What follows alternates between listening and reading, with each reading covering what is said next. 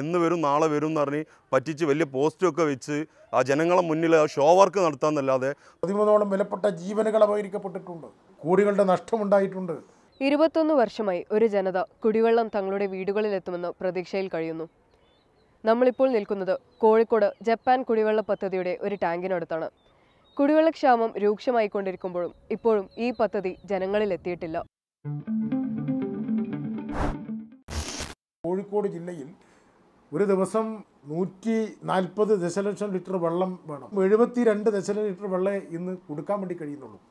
Japan കുടിവെള്ളം ഈ പദ്ധതി പൂർത്തിയാവുകയാണെങ്കിൽ കുറേ കൂടെ മെച്ചപ്പെടാൻ വേണ്ടി കഴിയും.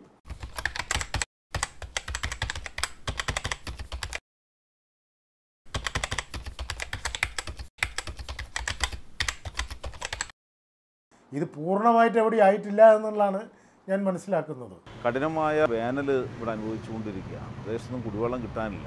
എട്ട് വർഷം മുമ്പ് ഇങ്ങനെ ജപ്പാന്റെ വെള്ളത്തിന് ഇതുണ്ടെന്ന് പറഞ്ഞ കണക്ഷൻ വീട്ടിലേക്ക് എത്തുമെന്ന് പറഞ്ഞ കയറ്റി നമ്മളെല്ലാവരും കൊണ്ട് പൈസ അടച്ചിരുന്നു. ഇരുന്നൂറ്റി അമ്പത് രൂപ ഒരു വ്യക്തി ഒരു വീട്ടുകാരോട് വെച്ച് വെച്ചിരിക്കുന്നത് മുൻവശത്തുള്ള വീടുകളിൽ ഇരുന്നൂറ്റി അൻപത് രൂപ വെച്ചും പുറകുവശത്തേക്ക് അഞ്ഞൂറ് രൂപ വെച്ചുമാണ് എട്ട് വർഷങ്ങൾക്ക് മുമ്പ് വാങ്ങിയത്. ഇപ്പോൾ ഇതിനെപ്പറ്റി ചോദിച്ചപ്പോൾ ഞങ്ങൾക്ക് അറിയാൻ വേണ്ടി സാധിച്ചത് അതൊന്നും ഇല്ല. അഞ്ച് മീറ്ററിൽ ഇത്ര രൂപ ഏഴായിരത്തിൽ ചോടെയുള്ള പൈസ അടയ്ക്കണം എന്നാണ് പറഞ്ഞിട്ടുള്ളത്. ബാങ്കിൽ അടച്ചത് റെസിറ്റ് അടക്കമുള്ള ആളുകളാണ് ഞങ്ങളൊക്കെ. മാർച്ചിൽ എത്തിച്ചേരുന്നതാണ്. അത്രയും ഞങ്ങൾക്ക് ഉറപ്പ് തന്നതാണ്. ഈ പ്രാവശ്യം ഞങ്ങളെ ഗതി അങ്ങനെ തന്നെ വന്നത്. വോട്ട് വാങ്ങി പോയിട്ട് ഇപ്പോൾ വർഷം രണ്ട് കഴിഞ്ഞു. ഈ നാട്ടിലെ ഈ പ്രദേശത്തുള്ള ജനങ്ങളെ കുടിവെള്ളത്തിനുള്ള ദുരിതം മാറ്റാൻ വേണ്ടി സാധിച്ചിട്ടുള്ള ജനങ്ങളെ തെറ്റിദ്ധരിപ്പിച്ചുകൊണ്ട് ആളുകളെ വെറുതെ ബുദ്ധിമുട്ടിക്കുന്ന ഒരു സാഹചര്യം ഇവിടെ ഉള്ളത്. ഈ വെള്ളത്തിന്റെ വണ്ടിയുടെ സൗണ്ട് ഒരു കിലോമീറ്റർ ദൂരം നിന്ന് കേൾക്കുമ്പോഴത്തേനും വെള്ളം വിത്തിന്റെ വണ്ടി വരുന്നുണ്ടെന്ന് കേൾക്കുമ്പോഴത്തേനും വീട്ടിലുള്ള എല്ലാ ജോലി മറന്നുകൊണ്ട് ഈ വെള്ളത്തിന് വേണ്ടി ഓട് ഓടുന്ന ഒരു ഒരു ചിത്രമാണ് നമ്മൾ ഈ കിഴപ്പാടത്ത് കാണാനുള്ളത്. വൻകിട കുത്തക കോർപ്പറേറ്റുകൾക്കാണ് ഈ വർക്ക് പോയിട്ടുള്ളത്. പദ്ധതി കാലതാമസം വരുത്തിയതിന്റെ പേരിൽ ശരിക്ക് ഇരുപത്തി മൂന്ന് കോടിയോളം ഈ കമ്പനികളുടെ കയ്യിൽ നിന്നും പിഴ ചുമത്തേണ്ടതുണ്ട്. ഒരു കൊല്ലം കഴിഞ്ഞ് മെയിൻ റോഡ് പൊളിച്ചിട്ടിട്ട് നല്ലോണം മെയിൻ റോഡ് പൊളിച്ചിട്ടിട്ട് ഒരു ഒരു വർഷം കഴിഞ്ഞ്. ഇതുവരെ ഒരു പാച്ച് വർക്ക് വരും ചെയ്തിട്ടില്ല. പിന്നെ പോക്കറ്റ് റോഡ് പിന്നെ കഥ പറയും വേണ്ട അതിലേക്ക് പോകാൻ തന്നെ കഴിയില്ല. സ്കൂട്ടർ അപകടങ്ങളാണ് കുറേ ഉണ്ടായിട്ടുള്ളത്. കാൽനട യാത്രക്കാർ വീണിട്ടുണ്ട്. ഇവർക്കൊക്കെ തന്നെ നഷ്ടപരിഹാരം കൊടുത്തോ എന്ന് പോലും ചോദിക്കാൻ ആരും ഉണ്ടായിട്ടില്ല.